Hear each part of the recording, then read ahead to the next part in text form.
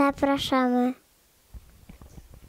Zapraszamy na charytatywny pokaz mody i tańca przygotowany przez Dorotę Okulską dla chłopców, dla Krzysia i dla Miłoszka, który odbędzie się 29 lipca w klubie Archiwum od godziny 23.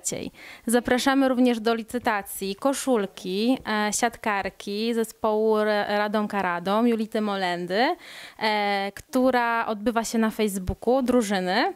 E, Pieniądze z licytacji zostaną przeznaczone oczywiście na rehabilitację i leczenie chłopców. Dziękujemy z całego serca. I, I zapraszamy.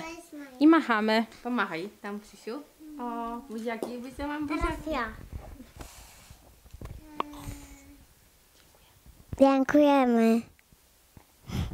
I machamy. Mm. Dziękujemy. Dziękujemy.